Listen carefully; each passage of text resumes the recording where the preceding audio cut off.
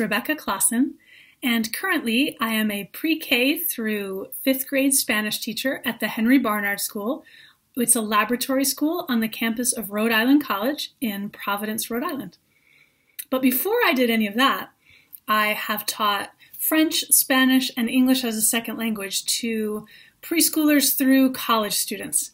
And before any of that, I was a really shy kid that didn't come out of my shell very often, that didn't feel very comfortable talking. But then I got exposed to two things that kind of changed my life. First was acting, and I really fell in love with drama. I loved being on stage, and that really helped me to come out of my shell and not be such a shy kid. The second thing I discovered was learning another language. I studied French from the time I was in kindergarten all the way through high school and then majored in it in college. And combining those two things, learning how to act and learning how to speak another language, really helped me to not become a shy person. And now I have spoken in front of hundreds of people, I've performed on stage in front of thousands of people. I don't have that fear of communicating anymore.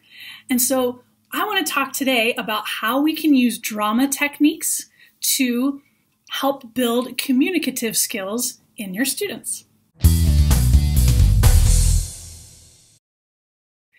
So let's think first about why we should use drama in the world language classroom. First of all, Many teaching methods are for cognitive learning. It's the cerebral, intellectual part of language learning. We think about should we be using implicit grammar or explicit grammar? How do we combine the four major skills of reading, writing, speaking, and listening? Um, should we use comprehensible input? All of these decision makings we, we think about as we're preparing lessons for our students. But drama addresses the affective side of learning. This is the emotional side. And this is an important skill that sometimes gets overlooked in language classes. This is the nervousness side of language learning. It's the excitement part of learning about another person's culture. It's the empathy of being able to put yourself in a different person's perspective. Um, so this is a really important skill is being able to teach students how to tap into their emotional side so that they can use that to inform their language learning studies. Next, drama is learning by doing. You have to use all parts of your body. You have to use all parts of who you are to be able to be good at acting. It helps students to put themselves in somebody else's shoes. And that's really important for language learning as well as cultural appreciation. It's being able to see things through the lens of somebody else's eyes and understand this is why we say things the way we do in a different language. This is why they do things a little bit differently than what you might be used to from your own language or your own cultural context. It is putting yourself fully into another language's context. And that's really important to helping a student learn the language. Third, communication can occur in a variety of ways. It's not just about using proper grammatical structures. Body language and facial expressions and gestures, these are all important parts of language learning, but they're also important in drama. When we're learning dra drama techniques, we're teaching students how to use your face well, how to use your hands well, how to use your whole body to tell a story. And that becomes really important in another language. Oftentimes, students don't have the vocabulary that they need to communicate. And so we need to teach them that there are a variety of ways to get your message across. And so using your whole body as a communication tool is a really important skill as well. Next, acting as someone else can help lower a student's affective filter. So your affective filter, that's the emotional side of your brain that sometimes gets in the way of language learning. Because we get so nervous, we get so caught up in, oh, I want to be able to say this sentence perfectly, and I don't want anybody to laugh at me. So that affective filter goes up, the cognitive side goes down, and language learning is impeded. But acting as somebody else can help lower that for a student, and that can help increase language retention. It increases a student's self esteem, their self confidence, their spontaneity. These are all things that helped me as a student, as this shy kid. These are the things that helped me come out of that shell because I kind of felt like I could step away from that shy persona that I felt I was kind of stuck in, and now I could become somebody a little bit different. And so, helping students to remove themselves from their own personality and feeling like it's okay to be somebody else. It's okay to try out um, the the personality of someone else, be in that person's world for a little while. That really helps with language retention.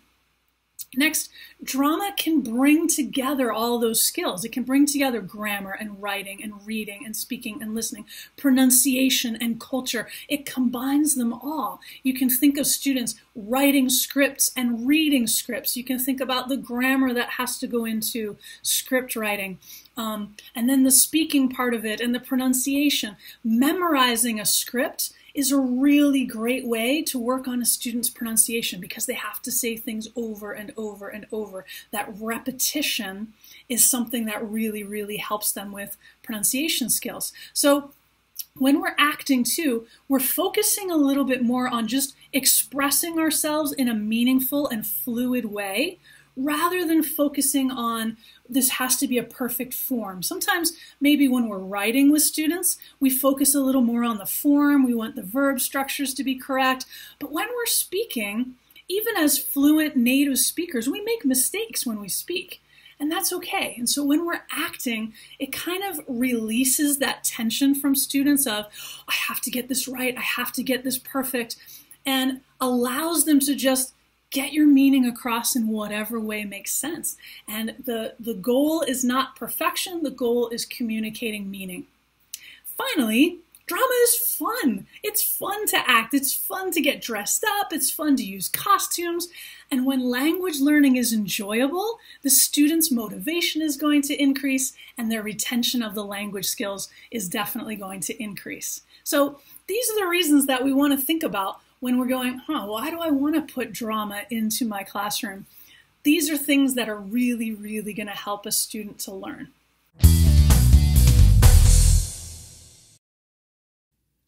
So we've talked about the why we want to use drama techniques in our language learning, but now we want to talk about how to create a safe drama environment. So just because we're using drama techniques in the classroom doesn't mean we want to have our classroom full of that negative kind of drama. Um, we want to make sure that our environment is a really safe place for students to express themselves.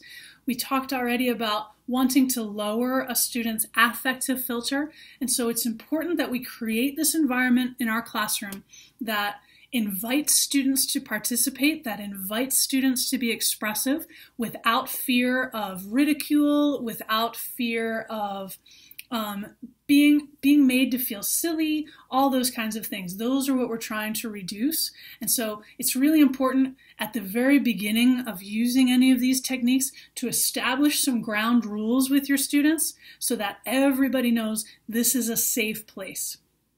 So one way that we can do that is ease your students into drama activities. We don't want to jump straight into, okay, now we're going to perform um, a Shakespearean play in front of an audience of thousands of people. We want to ease them in slowly, give them a little taste of drama, and then build up from there. So, a great place to start is with more low key activities like pantomime.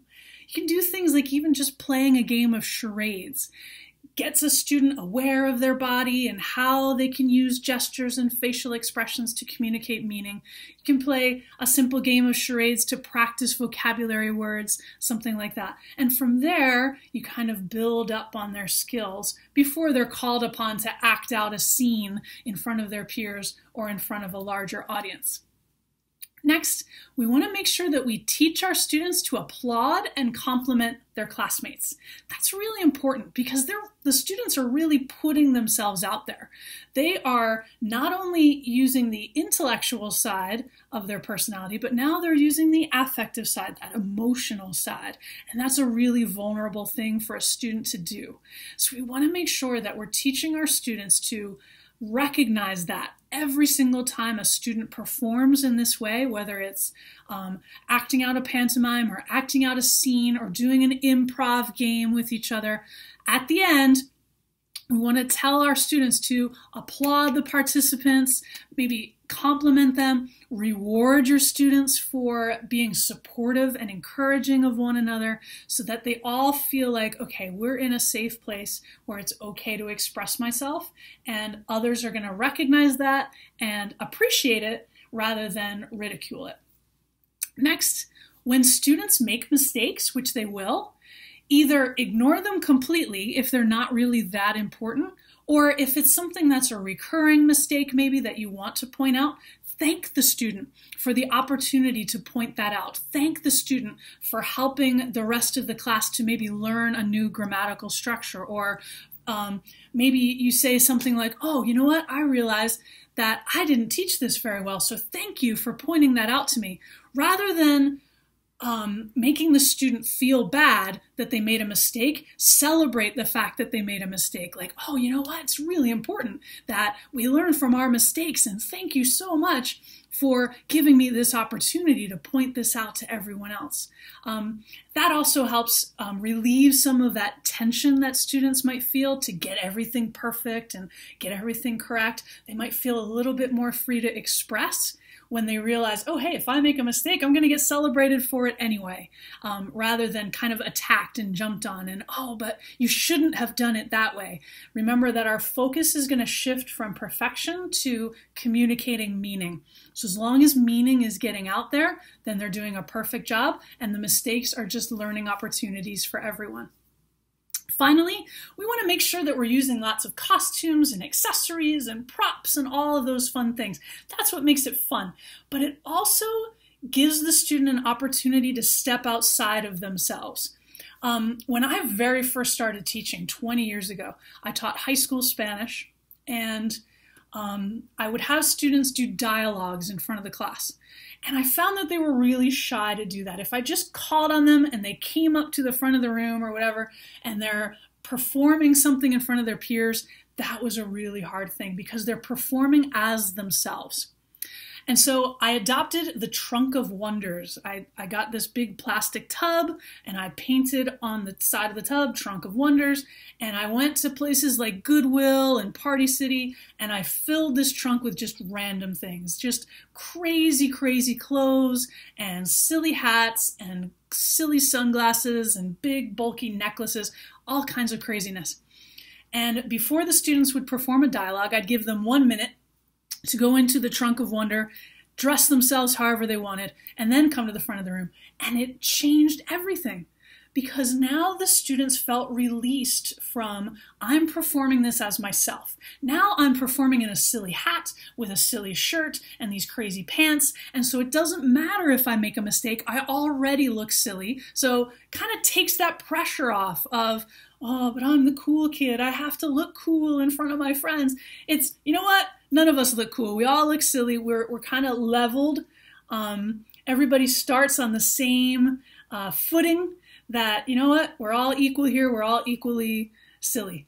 And so if you make a mistake, it's okay because you're not really making a mistake as yourself. You're making the mistake as this character that you're playing. That really helped my students to express themselves well.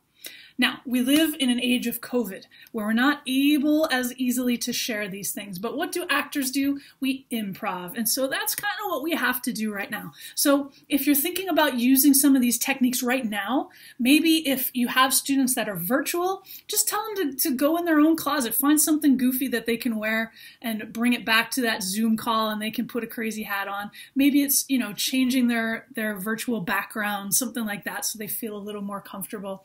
Um, if you have students that are live in the classroom but you can't share things, maybe if you know that on Friday we're going to be doing dialogues in front of the class, give the students a head up heads up and they can bring their own things from home and that way they're not sharing until we're free from covid worries and then you can have your trunk of wonders back. But there are ways around things we just have to be a little bit more creative with how we get students to express themselves but even with COVID, we can get students expressive, um, acting out emotions, all those kinds of things. And now, um, with masks on, we have this extra layer of we have to get students to act with their eyes more. Do you find yourself when you're wearing a mask, you smile really, really exaggeratedly with your eyes because you realize that people can't see your mouth anymore? Um, these are actually all really helpful skills for us is teaching students, hey, we're taking something away here. Um, but now you can use your eyes, you can use your hands, you can use the rest of your body to express yourself, but you can't use your mouth anymore. Um, that, that's something that's part of language learning. It's it's taking away different things. You know, here we we are in a, a situation where we have to speak another language, but I don't have that vocabulary piece that I need. How can I work around it? Okay, and that's kind of where we're at in COVID times. We're trying to figure out how can we work around the problem, um, and that's an important skill in and of itself. So make sure that we're creating a classroom where students feel safe, where they feel like they're not going to get attacked for expressing themselves. That will really help them to um, come out of their shell and communicate to each other a lot better.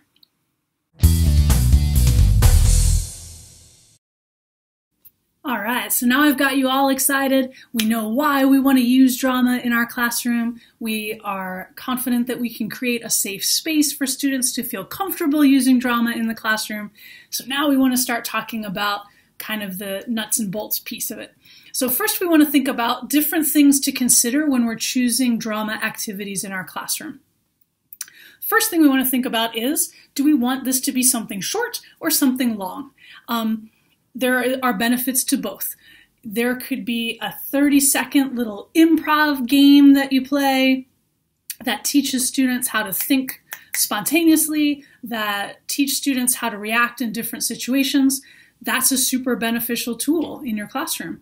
Or you might think about doing a long performance. Maybe students are creating a video that takes months to prepare and put together, and it's going to be this long 45 minute film, or maybe they're doing a 20 minute performance live in front of an audience that takes several weeks to get students um, rehearsed and you know all the props gathered and the costumes made and things like that that can also have benefit um, so you need to think about which one am I am I thinking about doing? Something short and spontaneous or something that is a little bit longer that takes more preparation and more rehearsal?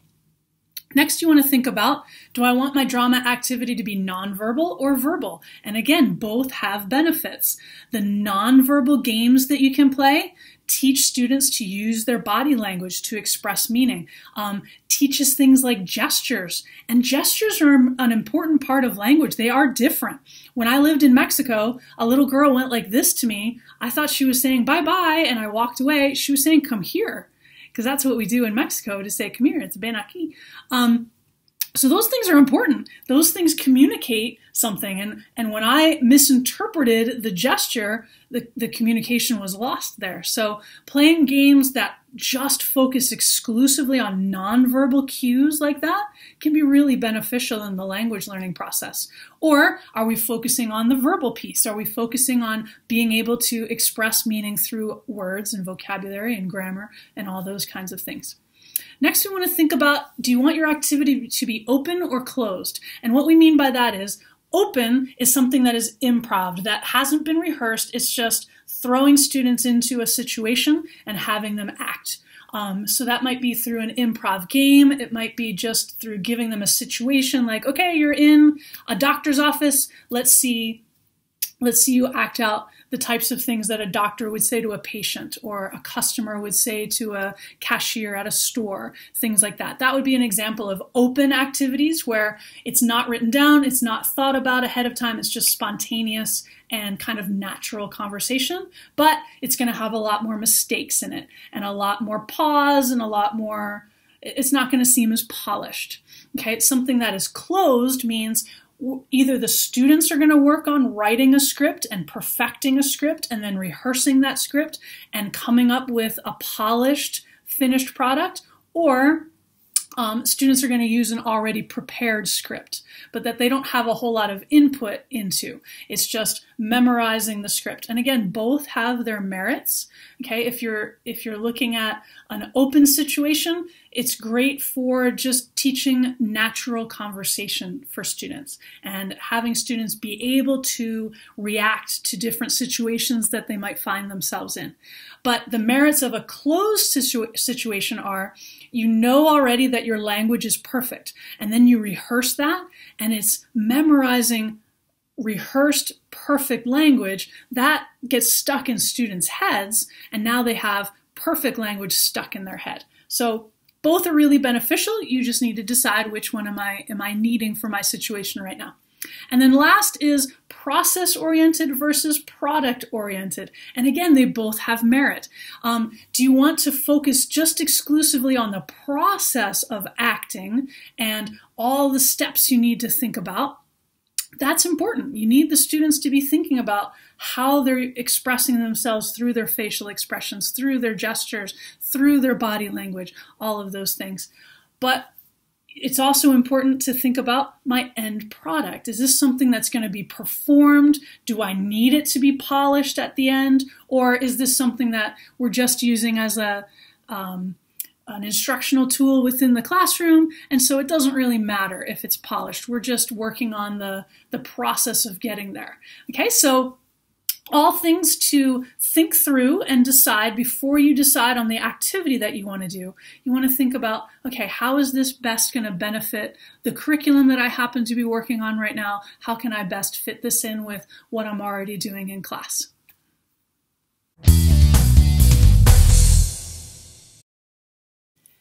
If I were there with you, we would definitely be playing some of these games that I'm about to teach you. Unfortunately, Again, we have to improv a little bit, but I'll do the best that I can to explain these games and then maybe see if you can try them out with your students. So here are different drama activities that will get your students talking. So one idea is a game called Yes and. So you can say that in your target language, however you want to say that. Um, this is a great one for practicing vocabulary that you've just learned. So maybe in your class you've just done a unit on travel, for example. Um, so the way that Yes and works is it's a way for students to collectively brainstorm. So one student might say, I need to bring a suitcase when I travel. The next student says, yes, and you also need to bring your plane tickets. And the next student says, yes, and you also need to bring a bathing suit. And the next student says, yes, and you also need an umbrella in case it rains, something like that. The reason that we call it yes and is, again, remember we want to create that safe um, environment with students that um, they don't feel like they're being judged. So we don't want to call the game no but because that gives it kind of this negative vibe. Um, we want the students to be building off one, one another. Um, so again, just a great way to practice vocabulary, get the students talking about the vocabulary words that they know. So that's one game you can play. Another fun one is called the hitchhiker. So the way that you would play this game is you can set up your chairs in your classroom um, to look like a car. So maybe two chairs in the front and two in the back to simulate a car. And you pick three students to begin the game. And one student is the driver, and they can kind of pantomime that they're driving. One is sitting in the passenger seat, and then there's one person sitting in the back seat, and you have one open seat that's going to be taken by the hitchhiker coming up soon. So you give the three students in the car um, a situation to talk about, whatever you happen to be discussing in class. So maybe you've just done a unit on the weather. And so the students need to start improving a conversation about the weather. What's the weather like today? Oh, it's sunny. I like it when it's sunny. It's not raining. Something like that. Whatever they, they are um, capable of doing at the language level that they're at. But then you introduce a hitchhiker. So you pick another student that's going to enter the car as the hitchhiker. So they can do one of these and they get in the car, but the class has to give the hitchhiker an emotion. So maybe they say to the hitchhiker, You need to be sad. So everything that the hitchhiker says needs to be said in a sad way, and it also influences everyone else in the car. So now everyone else in the car needs to talk in a sad way. So they're still improving their same situation about the weather, but now the weather is so sad. And it's, oh, it's so sunny today, and oh, I really like it when it's sunny, and everything is sad after a few seconds or minutes, however it, it, plays out in your situation, you introduce another hitchhiker. So have one student exit the car and the new hitchhiker gets in the back seat and the, all the students can kind of rotate. So maybe the passenger becomes the driver, um, the person from the back seat jumps up to the front seat and now the two hitchhikers are in the back. That hitchhiker introduces a new emotion. Maybe the new emotion is anger and now they're angry about everything and it's so sunny and oh, I hate it when it's sunny and I have to wear sunglasses and all of these things. So the benefit of this game is it helps students focus on that emotional piece. But the interesting thing is the students will focus so much on the emotional piece that they'll forget that they're speaking the language piece too. When when it's just the three in the car at the beginning and they're just kind of themselves in the car, it actually is a little bit more difficult. But suddenly when they're they're thinking about being sad or they're thinking about being angry, the language comes out a little bit more naturally because they have like a diversion, something else that that's occupying their mind. And so now they they are free to, to talk a little bit more more expressively when you introduce the emotional piece. And it helps them to use gesture, it helps them to use facial expression to express those different emotions. And it's funny. It'll make the class laugh, and it's something that, that they'll get really engaged in. Um, it's a fun, fun little trick. Again, in the age of COVID, can we put the four chairs together? Eh, maybe not. So if that's the situation, again, we have to improv. Maybe they're on a bus and they're more spaced apart on the bus. Whatever, whatever works. If you're virtual, you know, put them in breakout rooms, maybe, and those are different cars. Whatever works. Um, but just again, we want to think about ways to get the kids talking. Playing games like this is a great way to kind of have the students lose themselves and they get so caught up in I want to make the class laugh, I want to do something funny that they they are expressing themselves in another language kind of in spite of themselves. They don't even realize that they're doing it. It's really fun. And then last idea for today is called the strange neighbor. So one way that you can do this is make two circles of partners. So you have kind of an inner circle that's facing out and an outer circle facing in. So you, you partner students up and they're facing each other. And then you have the students walk around in different directions, like that scene in West Side Story, you know, when they're about to do the mambo. Do you know that one? So maybe play some music in the classroom. And then when the music stops, now they're face to face with a different partner. Again, in COVID times, maybe you have to think about a, a different way to partner students up. But the idea is that they're constantly being met by a different partner in some way. And as soon as the music stops, and they're in front of a new partner, they have to say something outrageous, whatever comes to the top of their head in that second. So this is really teaching the skill of spontaneity. Um, so maybe the student says something like, the cat is on the roof. And the other student has to react to that. They have to say, oh no, we need to get it down, whatever. This helps students learn how to react on the fly and not have time to think, which is what happens in real life situations in, in communicative experience. We need to be able to think on our feet.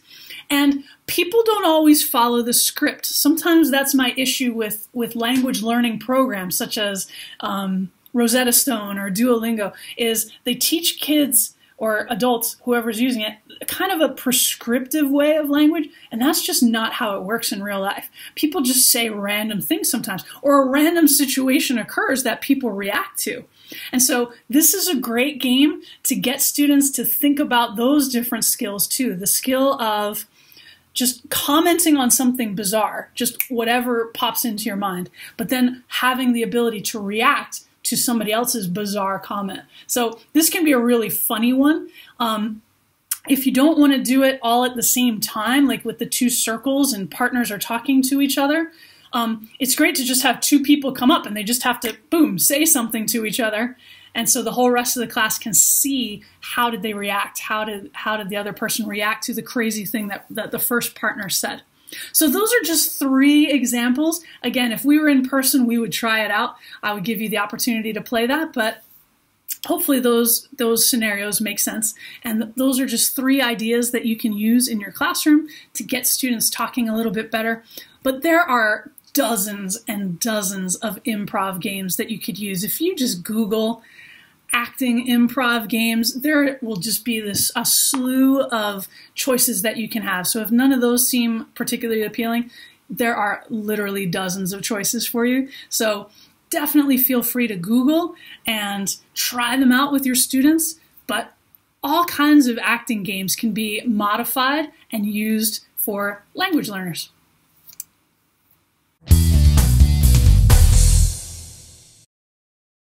To finish off today, I want to show you some examples of my students doing some acting and give you some ideas that you might be able to use with your own students to get them performing in um, different kinds of drama activities. So here are some types of videos or live performance activities that you could try doing with your students. The first idea is green screen videos. Unfortunately, I don't have time today to get into the technical aspect of how to make a green screen video. If that seems a little intimidating to you, I guarantee you your students know how to do it. They know how to do it. They have been making TikTok videos and YouTube videos all summer long. They are experts at video making. So if the technical aspect gets in your way, get a student involved and they will be able to help you do this for sure. But anything can be used as a green screen. You can just get a plain um, green piece of cloth, some kind of cheap material at Walmart, wherever. Just get a nice big green piece of material, hang it up on a bulletin board, hang it on a wall, whatever works. A door works great too. And that can be used as a, as a green screen. You can also even just use green paper, works too. It, it doesn't really matter as long as it's a consistent color. Um, and then students can do all kinds of things. Students can do weather reports, and so I'll show you an example of that with some preschoolers. It's the cutest thing. And you can change the background and make it look like they're actually giving a weather report from different places. And again, you want to use costumes and props, getting them dressed up and into that situation. It all helps with the, the expressiveness. Um, another idea um, that I've done is I often do units about different countries. And so at the end of the unit, my students will take everything that they've learned and do kind of an improv situation using every piece of grammar and every vocabulary word that they used within that unit. And I put them in that country by changing the background of the green screen. So I want to give you two examples right now of what that could look like in your classroom. Um, first, you're going to see some fifth grade students telling you about Nicaragua, just a little snippet of that, and then you'll get to see the cute little preschoolers giving you a weather report. So here's two little quick examples.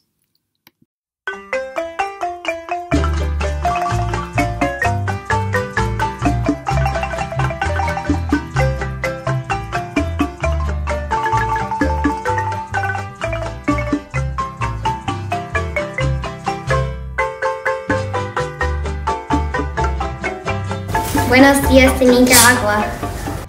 Hola, ¿cómo estás? Bien, ¿cómo te llamas? Me llamo Teddy, mucho gusto. Te presento mi abuela.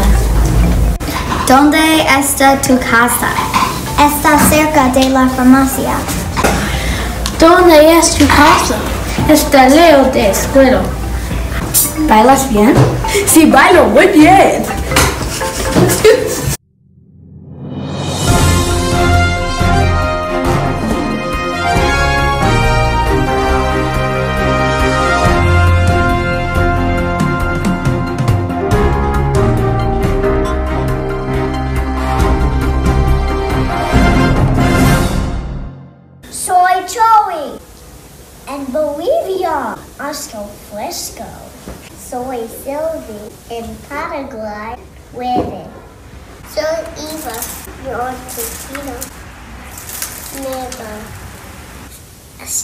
Sebastian. En Uruguay, hace bien tiempo. Okay, seriously, is that not the cutest thing you've ever seen? Is the little preschooler speaking Spanish? So cute.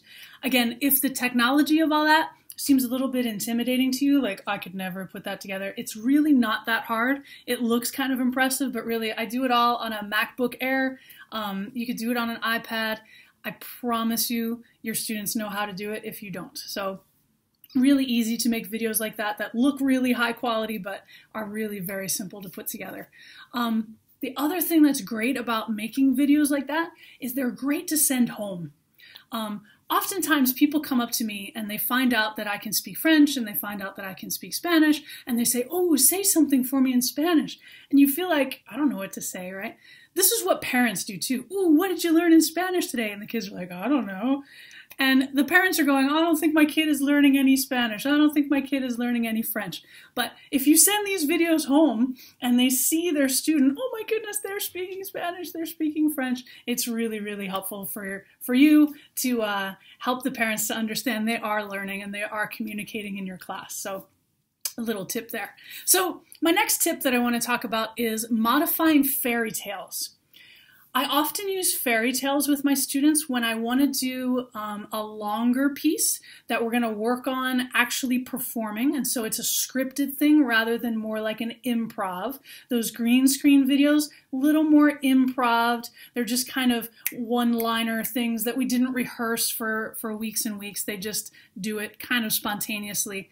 Um, but these fairy tale um, plays that you're going to see in a second are a lot more rehearsed.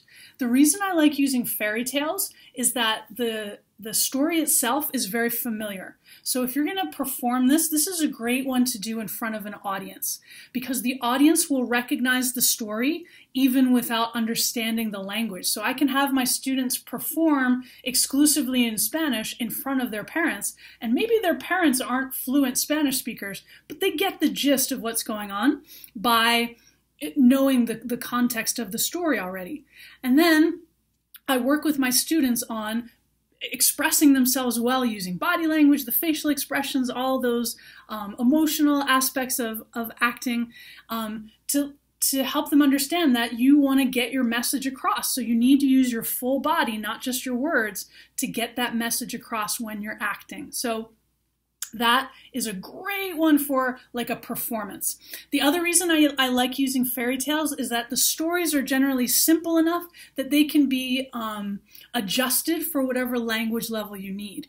So I'm working with elementary students. I need to make these as simplified as possible. So sometimes it's actually kind of funny when you water down a fairy tale to its just most basic parts.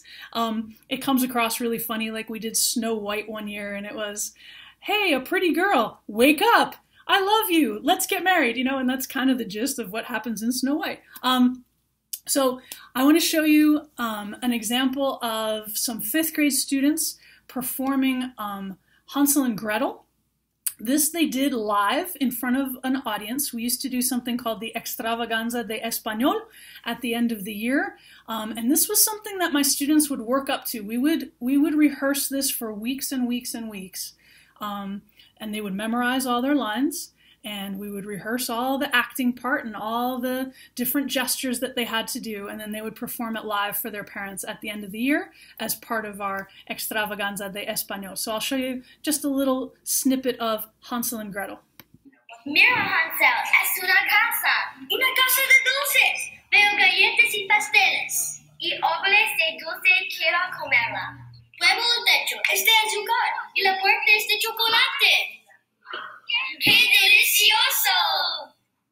De pronto se llenaron. Había muchas cosas deliciosas para comer, pero de repente recibieron una sorpresa. La puerta se abrió. ¡Fue una bruja! ¡Ya los tengo atrapados! ¡Socorro! Una cola y tú me harás todo el trabajo. Socorro! Socorro! So that was my fifth graders. Again, that's weeks of rehearsal. Um, so that's an example of a long performance, one where we're focusing on the product rather than the process. Um, it's an example of a closed script where um, I had actually modified a Hansel and Gretel book and modified it for the language that they knew. And then the students were memorizing already perfected um, lines. So, an example of closed versus open script, which was more like the green screen videos, would be a more open, where the students were free to express themselves how they wanted. I want to give you one last example today um, of something that my students did. This was uh, my high school students, and this is an example of a student produced script. So I think this makes a great end of the year project. This I used as my review. Um, I would have reviewed with the students anyway. This was just a way more fun way to do it. This is a great one for not necessarily a live performance, but like a film. So my students made, I think it was about 20 minutes long in the end. Um, their directions were they had to take all of the units that we learned that year, all the different vocabulary, all the different grammar, and somehow incorporate it into a story. And so these are Spanish 2 students. It's two girls that were in Spanish 2. And you can kind of tell from the, the dialogue that they're saying to each other what they were learning about. They were learning about stem changing verbs, which is something that we do in Spanish. They learned the past tense. Um, they were learning travel vocabulary, restaurant vocabulary. You're going to see those kinds of things creep up in the little snippet that I show you. Um, but the reason I say that this is a great one to do as a video as opposed to a live performance is this is completely made up by the students. So if they had performed this live in front of an audience, if the audience is not Spanish speaking, a lot of what was said would have been lost because they don't know the story, they're not familiar with the context, they, they would have missed a lot. But we made it as a video and then I could subtitle it. So I subtitled it in Spanish and in English, and then we had a big film festival and invited parents and whoever wanted to come to view these films that the students made as again this was their review for their final exam something I would have done anyway, but we turned it into a fun thing. Um, all the different classes I taught Spanish one, two, three, and 4, each class made their own video and then we had this big film festival. We had a red carpet we had popcorn and all the different classes could watch each other's final projects. So that's kind of a fun idea for older students. And again i didn't edit the video. The students put it together. They knew what they were doing. They put in all these special effects. There is a pretty hilarious travel scene that they pulled off that, that's pretty funny at the end. So let me show you this one. It's called La Pimienta Picante.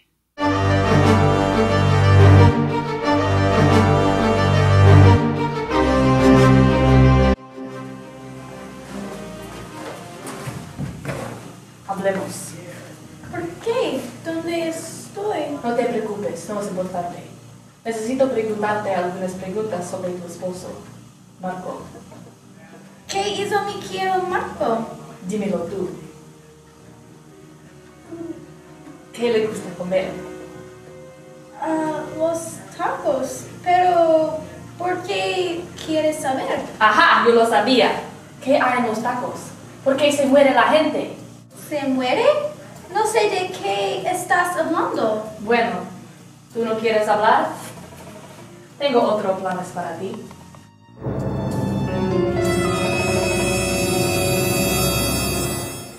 ¿Qué les gustaría comer? Yo quiero tacos. No me gustan tacos. Quiero los espaguetis. Ay, Dios mío. Está bien. Un momento, por favor.